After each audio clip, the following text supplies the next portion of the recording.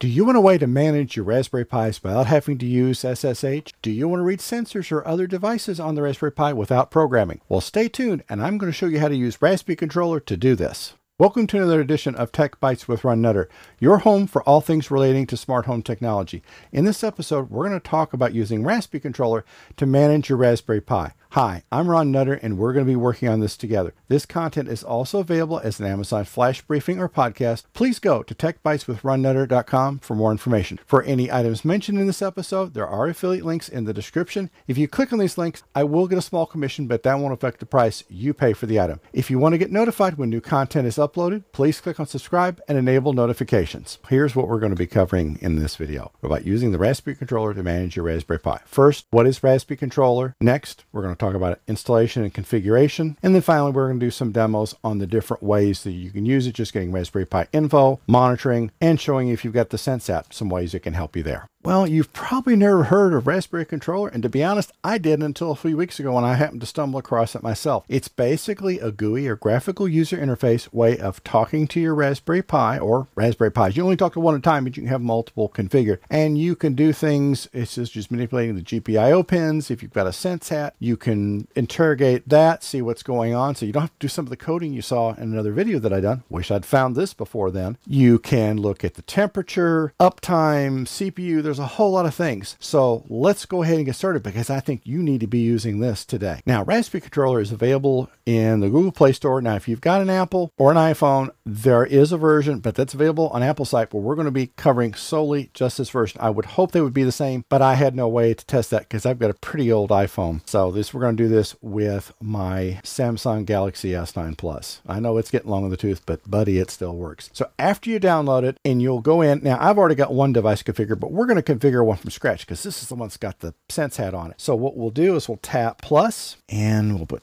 uh, this is going to be sense hat and then its address is 10.0.1 244 username is pi. Yeah i know. Well it's a test one so i haven't changed it. So you probably should change it and we will type in the credentials and we'll do a connection test. It should come back here pretty quick. Okay, uh, it's got it doesn't like the username. Okay, so I probably did something wrong, but that's a good way to find out. Whoops, I don't think that's enough dots. So okay, we'll do connection. Okay, well, user error or an ID 10T if you haven't heard of that one. So connection's okay, and we'll click save. Now we'll go to SenseHat. It's just verifying you got to have SSH enabled when you set up the Raspberry Pi. So it's just verifying Yes, we want to continue. So what you can do here, there's a whole host of things. Like we can go do Raspberry Pi intro, and this is going to get us, once it gets through reading the information, it may take a little bit of time the, the first time through, but you can see it tells us the version it's on, serial number, how long it's been up, CPU utilization, number of CPUs. It gives you quite a bit of good information. And plus down here, when you can get into the CPU and GPU temperatures. So that's good. It verifies your core voltage, tells you how much memory you've got versus what's available, gets into the file system, and it gives you, from a troubleshooting standpoint, the MAC address. So this is something, if you don't have this documented somewhere else, and you may not, that you can get to that readily at hand. So that is well worth its price right there. Now we can go into a host of other ones. We'll look at CPU and disk monitoring.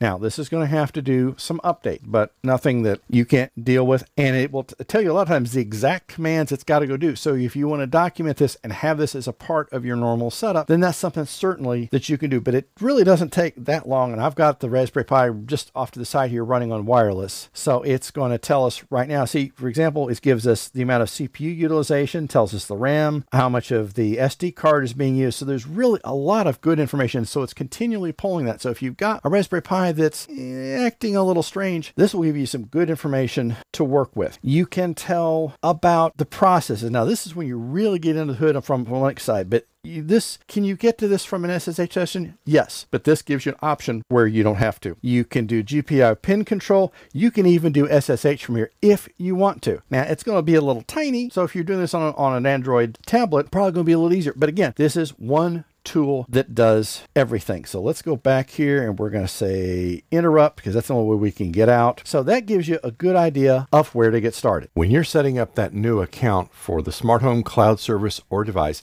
please get a copy of my smart home device account checklist you see here on the screen. This will help make sure that everything gets written down that you entered to get that account created. The form will also serve as a backup copy when you get this entered into your password manager app. And if you're not already using a password manager app, please get one now and get started. You will be subscribed to my email list in exchange for the checklist. I won't share, rent, or sell your information to anyone. This is the part that caught my attention, and that's being able to interrogate the Sense hat without doing all the Python configuration from the video that you saw me do. And if you want to do it, that's fine, but I always like to have an option. So we will go down here and we will look at Sense Hat, and it's going to have to install a few things, but it'll handle that automatically. This is another indication why it's good to have periodic backups of the SD cards, just in case something would happen. So again, it's already finished, and it's telling us the temperature and there there's issues where the temperature maybe is not quite dead on, but we can deal with that one. So we'll see. Let me tilt this a little bit to the side. Okay, so it's you know it's obviously reading those sensors just peachy keen. Barometric pressure is on hand. The temperature's a little off, but this is a less than a $40 card, folks. So that's one of the things that may not be totally spot on, but at least it gives you some options. You can see what's going on. Now you can go down here into LED panel. We will do, let's type test. And guess what? Let me reach this over here and I don't have my other camera turned on, but we will do this again.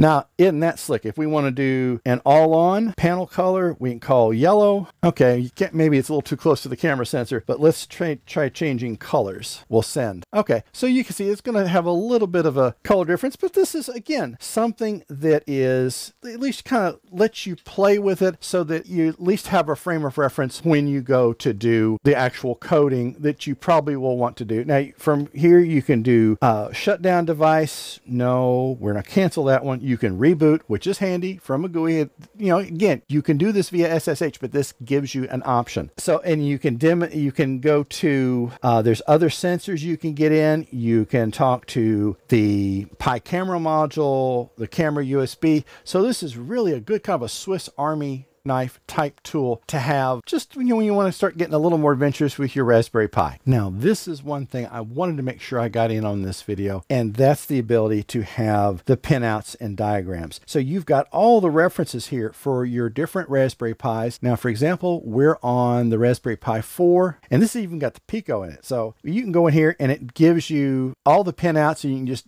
expand your screen a little bit so you can see very easily, even on a smartphone, what pin is what. It gives you all the different information, tells you about the PoE header, gives you a good legend at the bottom. It will go into, let's see, the Sense hat. So it gives you good information there, what pins are going on. So again, this is handy, if nothing else, for the built-in documentation that you've got. And let's go one other thing here, and you can fire a single LED. So it shows you how to hook that up to be able to do other testing there. Shows you about hooking up a relay. So there are there's four-port relay boards, so you can actually use this to control things such as you know maybe your garage door controller or an AC device using the relay as an isolation point so that you're not directly exposing the Raspberry Pi to to an AC device. So you see there's quite a bit of information in here besides just controlling the Raspberry Pi. You know, being able to reboot remotely is nice because sometimes you it just decides to lock up and may not want to talk to you. At least this way you've got a shot at getting it. So this is something definitely you need to give a try today. And I think you're going to be wanting to have this in your wheelhouse on a regular basis. If you're watching this on YouTube, you will see videos on the screen that are similar to the one you've just watched or other content that YouTube thinks you might be interested in. If this video helps you or provides value, please click on the like button, thumbs up. If you haven't already subscribed to the channel, please click on subscribe now and enable notifications. We'll see you in the next episode. Thanks for watching.